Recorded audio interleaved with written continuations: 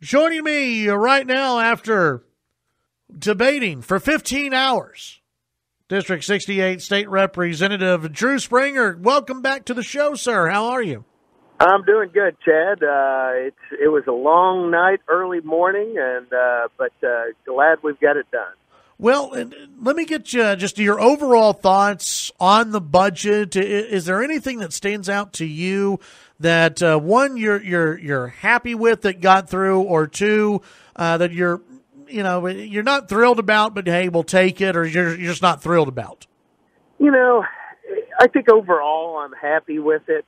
Um, you know, we've I, I'm glad to see that we're funding TxDOT and roads, core function of government, and because the constitutional amendment we passed, that meant we had a whole lot less for other things and so we had to look for where we're going to make cuts and where we're going to make reductions, and that's a good thing.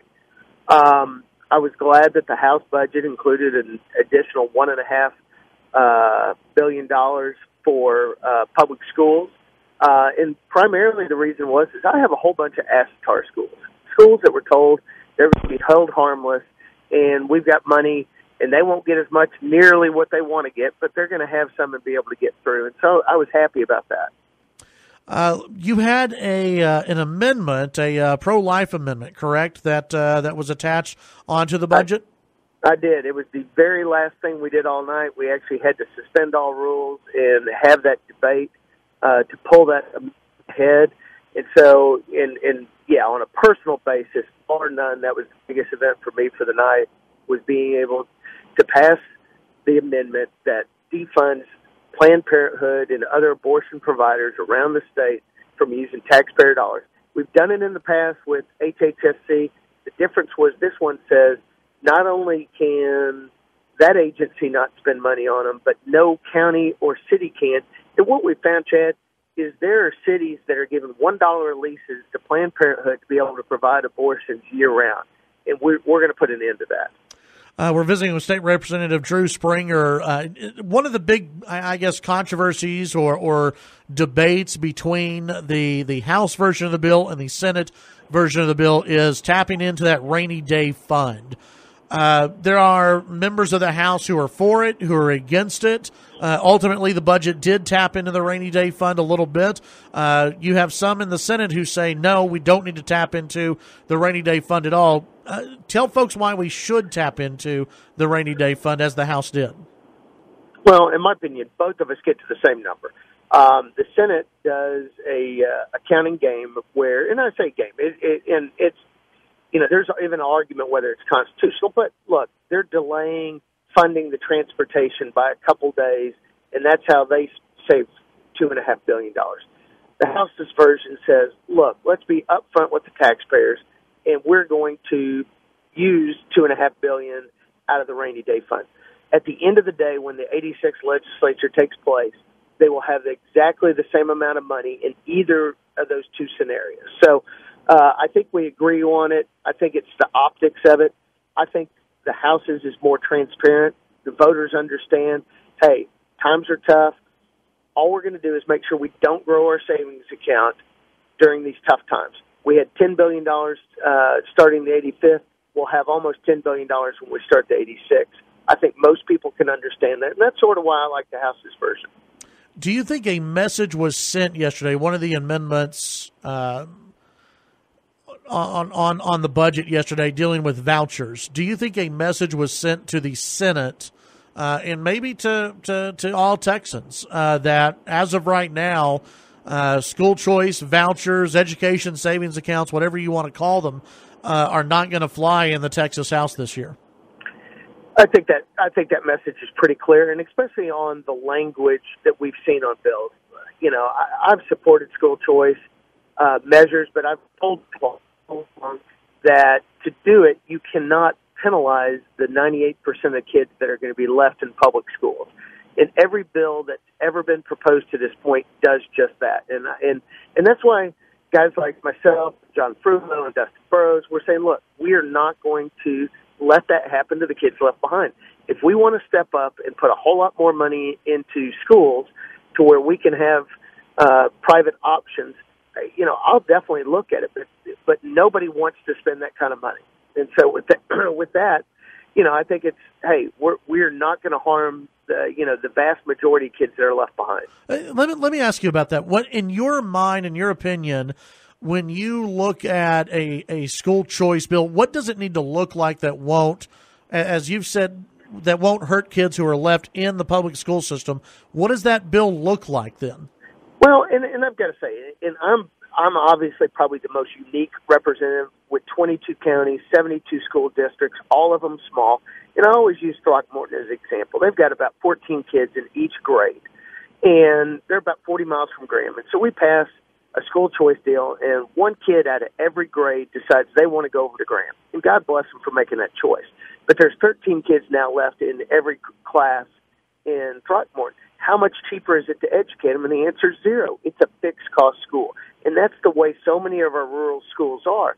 Now, it's not a whole lot of money to be able to make sure that those kids aren't harmed by that, but nobody in the Senate side, especially in Harris County, wants to accept that analogy and be able to address it. And I, and, and I think that's why the Senate, at the end of the day, when they passed their bill out, said, "Hey, we're going to exempt counties under 280,000 or whatever number they used," was to try to make sure that they do no harm.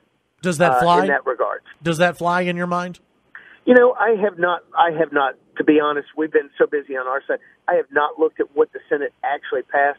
I'd really studied what the Senate had really proposed beforehand, and that's where a lot of my objections were at in regards to that. Now, that being said, we took a vote of no, um, but general law usurps the budget, and if they could put if they could put a budget to, or a uh, a school choice package together and could pass the House, uh, it would override what we voted on the on the budget amendment. And once again, we've got to get back to that point that says it will do no harm. I think um, Representative Simmons out of Lewisville has a unique look at it that says, "Hey, maybe we just need to look at uh, special needs kids and let's start there with the program that gives those families an option." You know, that one I think has a lot of people saying, "Let's look at it." He asked the questions last night, and it, that could it be passed based on that vote? And the answer is yes. And so it's it's not completely dead this session, but I obviously has a huge high threshold to cross in the in the in the House. Sure, uh, we're visiting with Representative uh, Drew Springer, uh, District 68 uh, State Rep. Okay, I've got to ask you. There was a moment last night uh, between you and uh, Representative Jonathan Stickland where he wanted to defund the program for abatement of feral hogs. Uh, you came back and attached an amendment to Stickland's proposal that would cut the same amount of funding to uh, to the to uh, the Texas Department of Transportation, but only for roads and highways in Stickland's hometown of Bedford. Uh, he, y- y'all aren't seeing eye to eye, or at least you didn't see eye to eye last night. What what went down uh, last night on the floor of the House? No, and and and we'd had a couple other amendments earlier in the night. And we had a handful of ones that we're going to continue on, where urban suburban representatives were attacking rural Texas and the things that we need to do to make our, you know, make our lives as good as possible in rural Texas. And I got to the point where I'd asked him, I talked to him about the program. I asked him to pull the amendment down respectfully.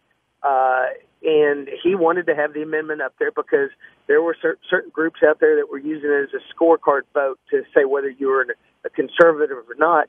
And, uh, you know, he knew he didn't have the votes to pass, but he wanted to put a show on. And, you know, I finally have hit the point where I'm not going to see people attack rural Texas and, and use this as a, as a game on the House floor.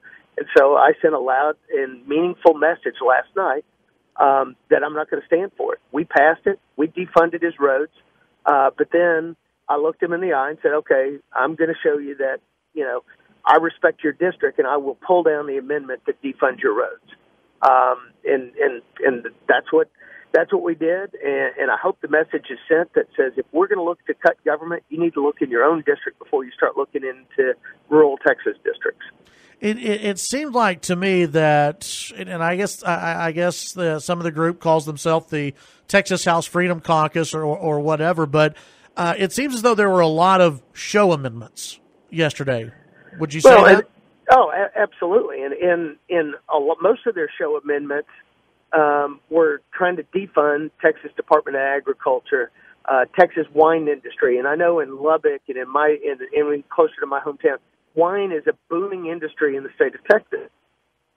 come after these programs thinking that oh there's only you know 15 20 rural reps we can roll over them and make it look like a conservative vote and and and I was you know I was happy to know that the members had my back that says you know we're going to protect all Texans and and we're not going to stand for this. And so uh you know that that's what I've said my role is all along is defend rural Texas. And and you know that's why I fought for it last night. But that being said I turned right around and 30 seconds after that vote was done, I looked at two of the Freedom Caucus members and said, I need your help to, to amend my pro life amendment to fix an error I had.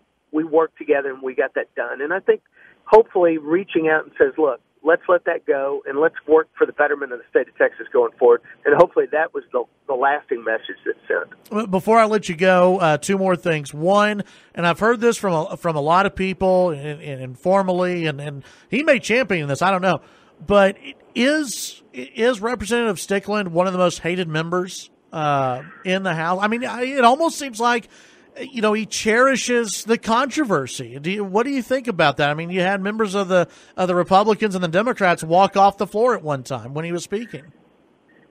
You know, I, man, I, I I hate to say that a whole bunch of people hate any member. Um, I, I think a lot of people don't like the tactics that are done. Hmm. Uh, we want to be passionate about the things we want to debate, and and nobody wants to take that away from anybody. Uh, but you know, it, it's at the end of the day, you know, you you 150 of us have to work together to see the state of Texas go forward, and I think we do better when we do that with, you know, uh, camaraderie slash. Uh, we can disagree on this, but let's keep things moving forward. And, and I and I think ho- hopefully, when we all reflect back, we'll say, okay, we need to come back to work a little bit more with each other, not be as much attacked um, as that, but you know, to say, you know, we all hate him. I don't hate Jonathan Stickland. I mean, I, I, I, I hope that we can work together for conservative measures, but they've got to be true conservative measures, not ones that just look good on TV bites or, you know, scorecard type of things, but really help move Texas forward. Uh, before I let you go, uh, what will you be working on next week? What do uh, people need to be paying attention to in the House next week? You know, with the budget behind us, the House is really going to start moving on a whole bunch of items. Uh, I've got some tax bills that I'm working on. Uh, I'm trying to help uh, Representative Murphy's taking the lead on our sex, small town sex offender bill. Uh, so I'm trying to help him get that through the House so we can get it over the Senate and get that passed. Uh, and then just working on, uh, you know, just good conservative rural Texas uh, legislation. Representative Springer, as always, appreciate your time, and I'm sure we'll visit again this session. Thanks, Chad. Looking forward to it. Thanks. Thank you. That's Representative Drew Springer, District 68 here on the Chad Hasty Show, News Talk KFYO.